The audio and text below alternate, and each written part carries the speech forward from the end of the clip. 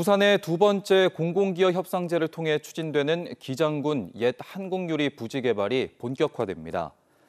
부산시는 옛 한국유리 용지 주택건설 사업계획 승인을 고시해 지하 2층에서 지상 48층 규모의 공동주택 1,968세대와 근린생활시설을 건립합니다. 사업자인 동일 스위트는 오는 8월 착공에 들어가 2028년 준공할 예정이며 부동산 경기 상황을 본 뒤 분양 시점을 정할 계획입니다.